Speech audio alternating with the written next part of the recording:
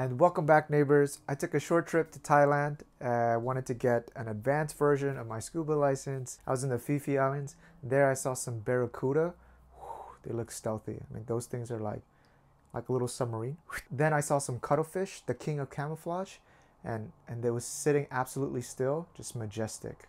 Loved it, like a flying carpet. Huge leopard shark. I think this was bigger than me. Well, a lot of things are bigger than me. And then over there, they had these huge sea cucumbers. I mean, these things are gigantic. Just looks so nasty. Ooh, I just want to squeeze the thing. Ooh. In between the island and Bangkok, we tried a lot of home cooked dishes. Um, everything tasted amazing. You know, Thai food is amazing. But one thing that I was surprised by was that uh, pad thai is not like a common dish in Thailand. Like Thai people don't eat a lot of pad thai. Anyhow, that's enough about the trip and the little fishes. Today I'm craving Korean food. It's been a while. So I want to make a, a, nice lunch set menu. Um, just something spectacular that uh, you'd be proud to make and share with someone else. Let's go.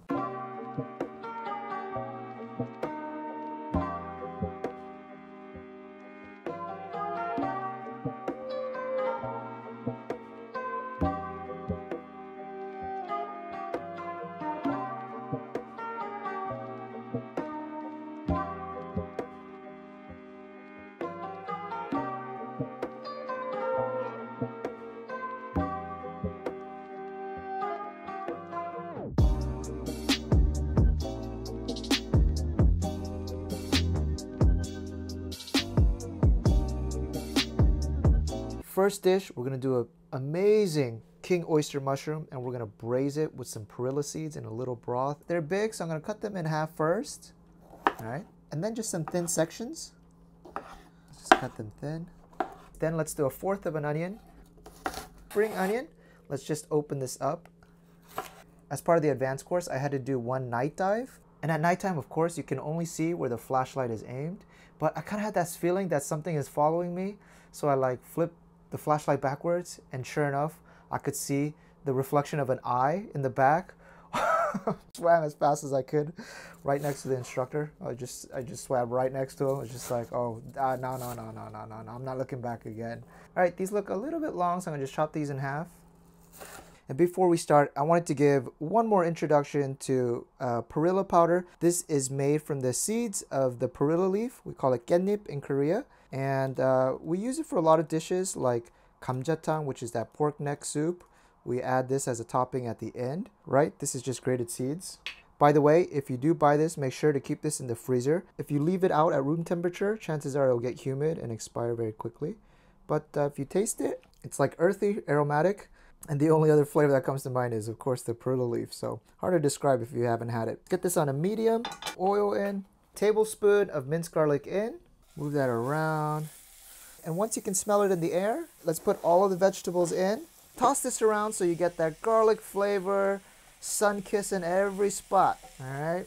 And once the mushrooms start sweating just a little bit, we're gonna flavor it with one tablespoon of fish sauce. All right. And then one tablespoon of mirin or any cooking wine. Those two flavors are gonna be the base seasoning. Mix it around for about 10 seconds and then we're to dilute it with half a cup of water. And then as we wait for it to simmer away, we're to put in four tablespoons of this perilla powder. This is to add that second layer of flavor. Mix that up. Ooh, doesn't look beautiful? And this color, this reminds me of tulke kalguksu. It's kalguksu made in this broth of this perilla powder. It's vegetarian. It's also very nice during the winter. Continue to let it reduce until most of the broth is gone. And if you move your kitchen utensil and it doesn't come back easy, this is perfect. It's almost kind of looking like a uh, Alfredo sauce. we'll turn off the heat. Oh man, take a look at that. Beautiful, nice and creamy. I'll take a bite. Mm, that's beautiful. This seasoning is spot on. Guys, this is an amazing side dish. If you want to make this as a banchan, keep it in your refrigerator. Amazing. If you want to put it into a toshirak with some other banchans and some rice, whew, put a little bit of green onion on top. Tilkekaru sauce. Perilla powder sauce. Very nice. Ah.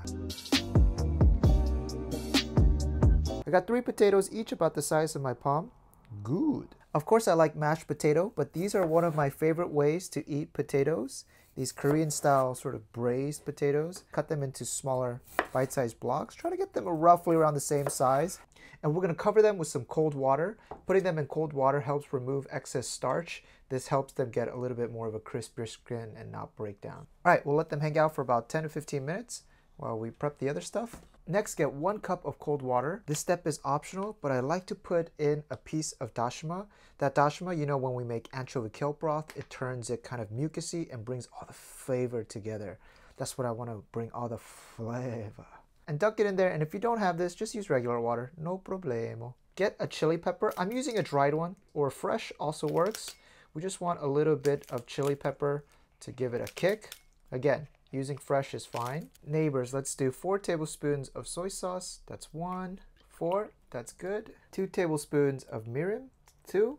And one tablespoon of sugar, teaspoon of sesame oil, and a few cracks of black pepper, maybe five or six. All right, now we'll mix this up. And fun but random fact, did you know that the Finding Nemo, what's that fish, the, the clownfish, it's born male, but it has the ability to turn into a, a female. What? All right, before we start, let's empty out this water through a strainer. Let's get a little bit of oil in the frying pan. Once that gets hot, we'll add in our potatoes. Oh, I'm still thinking about those sea cucumbers that are like this big. Ooh. From here, my friends, we'll move them around, moving them around until they're about halfway cooked through. All right, it's been around three or four minutes, about halfway translucent. That's good for me. Let's throw in the chili peppers. Let's give our sauce a good mix one more time. Then we'll add it in. Mix them in in that soy sauce. Wow, that color is going to change immediately. So now we're going to get our dashima water. And we're going to slowly add it to our mix. All right, and now we're going to bring it back up to boil and we're going to let it reduce and all that flavor come into the potato. Left. This is at a good place.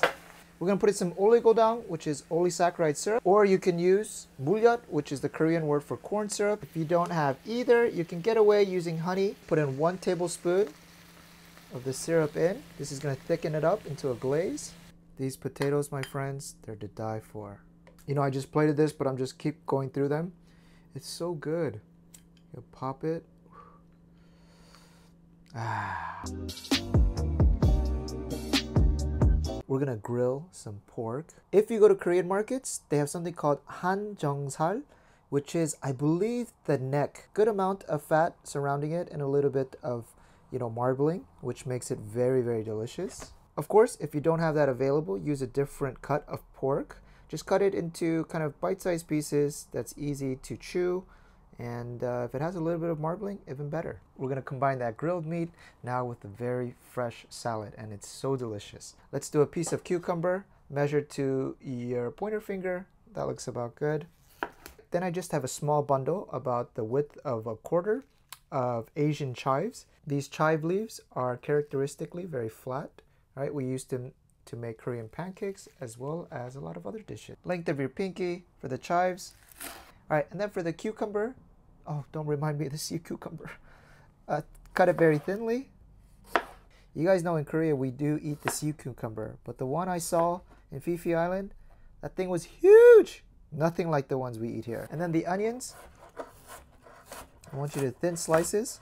And the onion slices, we're gonna put in some cold water so it loses some of its potency. And all we need to do now is make our salad sauce. For our sauce, let's do half a tablespoon of minced garlic, one tablespoon of soy sauce, 1 tablespoon of mirin or any white cooking wine, then 1 tablespoon of vinegar and half tablespoon of sesame oil. Give this a nice mix. And these pieces are absolutely amazing. All right, as you can see, some of that fat start to melt away. Give it the base seasoning of salt and pepper.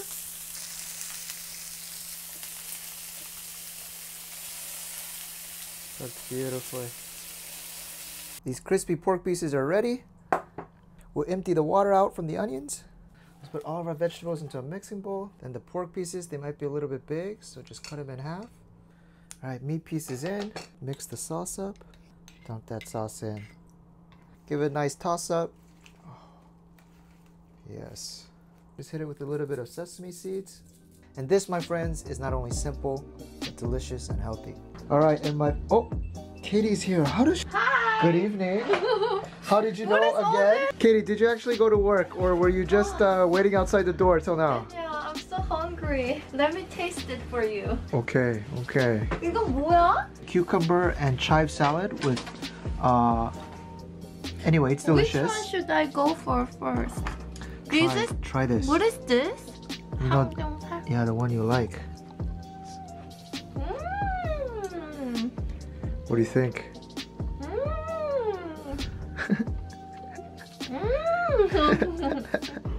the seasoning is so right, huh?